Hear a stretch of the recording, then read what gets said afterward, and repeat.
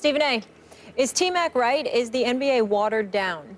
No, it is not. He's wrong. Um, like I was joking about yesterday, T Mac is my man. We go back a long ways. I'm used to educating him about certain things, and this is one of them.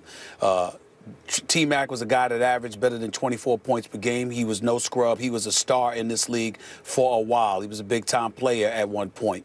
Uh, but the reality is, is that you got you he's one of those guys he's not from the older older generation but he's he's old enough where he appreciates a more physical brand of basketball uh, rule changes that didn't facilitate more offense having to do the things that he did in an era where the level of physicality was still allowed to some degree. I can appreciate where he's coming from. He wasn't around when it was the early 90s and late 80s when it was really really bad physically but at the same time in 2000 and beyond uh, certainly there was some physicality that still existed. So I get, I would get his point if he was bringing that up in terms of watered down, a watered down game.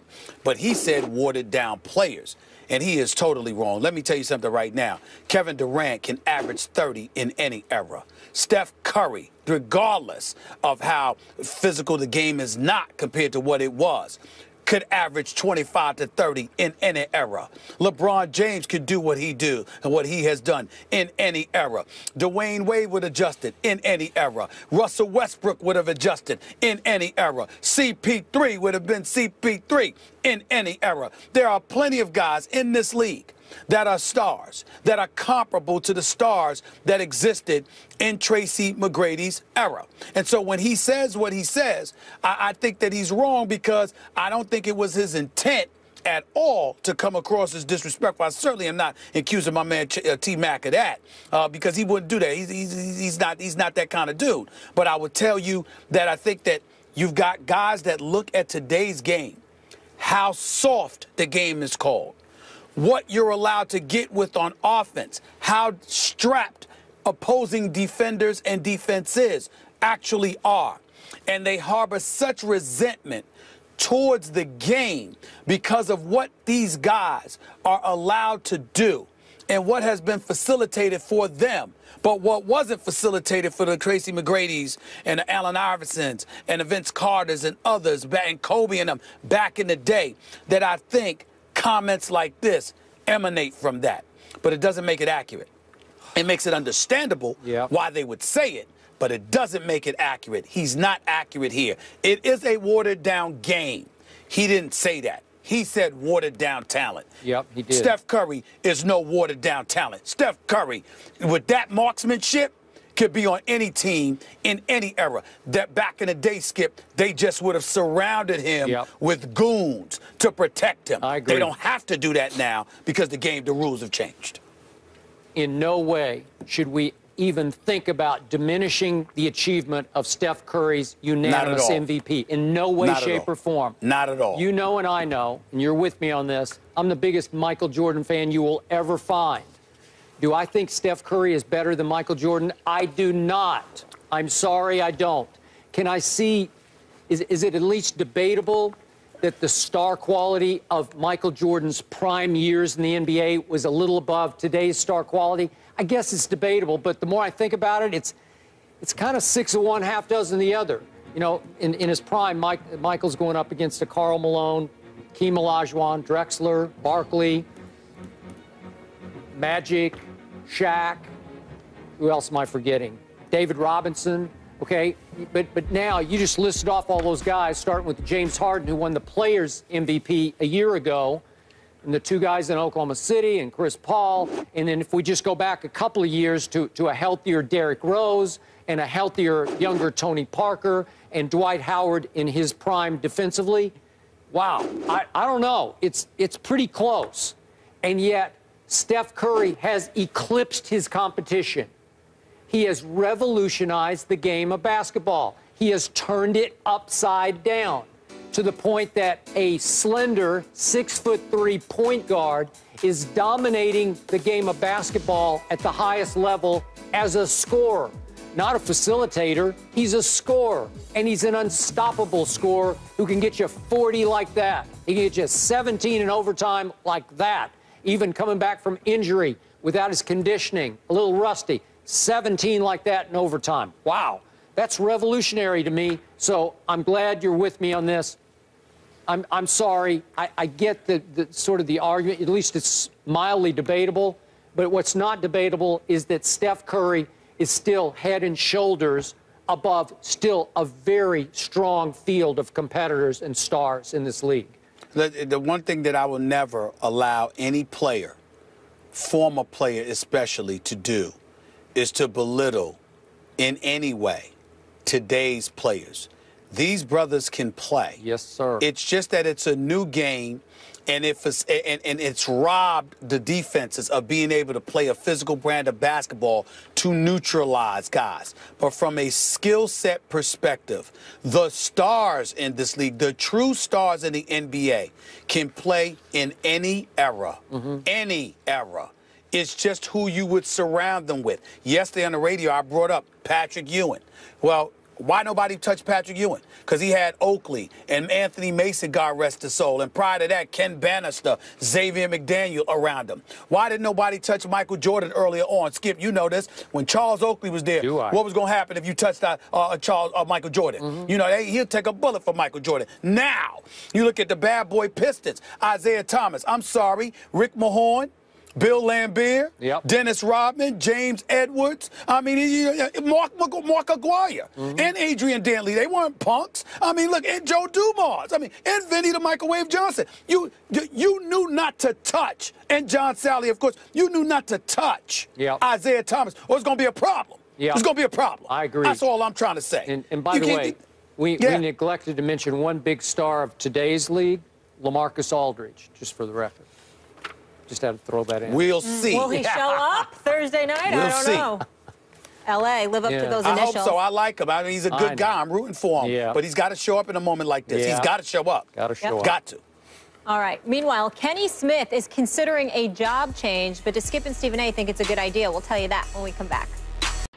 So, a source telling our Calvin Watkins that the Rockets have interviewed TNT's Kenny Smith for their head coaching vacancy. Stephen A., could you see this working? Oh, I absolutely could see it working. I would miss Kenny Smith on TNT. I'm actually jealous watching the show because I love it and I love all of those guys. I've known them for years. They're personal friends of mine. Uh, Kenny Smith uh, is one of the brilliant basketball minds in this business. Uh, he, I'm not saying that just because he's a friend. He's a great, great person. Uh, he's highly knowledgeable. He's a good man. He knows what he's talking about. And more importantly, when you talk about an individual that could successfully go about the business of ingratiating himself with the modern day player to maximize their skill set, I definitely think that Kenny Smith is somebody that can do that very, very successfully. Not to mention the fact that when it comes to Houston, it's even more of a viable option because Kenny Smith comes with credentials, not just because of his years of clear expertise as a basketball analyst. That's unparalleled as far as I'm concerned, by the way, but also because the guy is a two time champion as a point guard for that franchise. If you're Les Alexander and you want somebody that can ingratiate himself with the modern day player, which is James Harden, and on top of it all, maximize your potential and make you feel good about it, who can also go out there and recruit other players to want to come and play for you, I don't think there's anybody better for that particular job than Kenny Smith. I hope he gets it if he wants it. But if he doesn't want it, I don't blame him because that TNT set is a damn good place to work. No It is. question. I got you. I'm with you on this. I'm intrigued. I think this could work and work big for, for the city of Houston and for that franchise for all the reasons you just detailed. I look back at the precedent that's set, and, and I'm sure there are those out there who would say, come on, Kenny Smith's just going to walk straight out of the broadcasting booth with not one second of paying any dues as an assistant coach and suddenly became a head coach of that franchise in that city? Wow. It's happened and it's worked. I look back at Doc Rivers, walked out of the TV booth right into Orlando's job. Look at him now. I look at Yep. Mark Jackson, walked out of the TV booth into the Warriors job, did really well. And, and he's still a viable candidate for the next job. He should be the he Yeah. should be the head coach for the New Okay. York Knicks.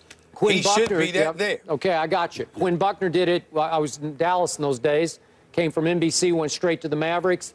Wasn't great, but, but he pulled it off and, and was a very smart basketball coach. Doug Collins really pulled it off coming out of the CBS booth to the Bulls with, the, the Michael Jordan Bulls, obviously, and then went on to, to even bigger fame elsewhere.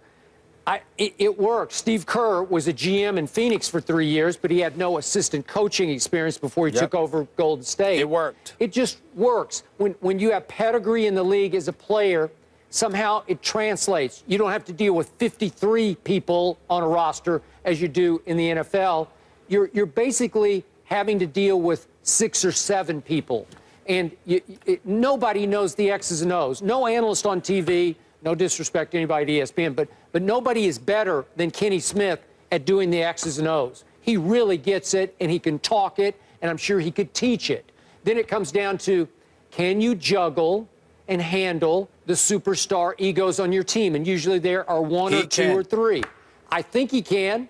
I don't know, would it drive him nuts? Well, maybe it would. I, I don't think so. I think he could do it, and I think he'd be a really good choice.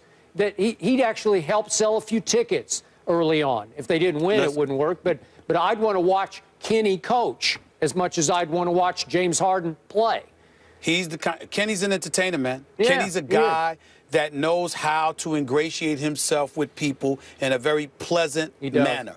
When you're around him, you like being around him. You like talking to him. He's and his basketball knowledge is unquestioned. The guy knows what he's talking about. Yep. And his basketball credentials are that of a two-time champion as a point guard who, by the way, was at the University of North Carolina prior to being in He the was. NBA and becoming the two-time champion. The brother can he knows the game backwards and Yep. forwards and Houston is where his success as an NBA player occurred. It's a perfect matchup if he wants it. Yeah, I agree. But he would be walking away from Hey. TNT. That's a hell of a job. I know, and you- It's a special it's show. One of the best jobs in television. It is. That's a hard thing to walk away And from. You know, and I know there would be long nights coaching where he would miss that gig at TNT. hell yes. I don't even work there and I'd miss it. Yep. No, that show's incredible for sure. Great chemistry. Dwyane Wade, speaking of great chemistry, he has uh, been vintage Wade of late. Will he be able to carry the heat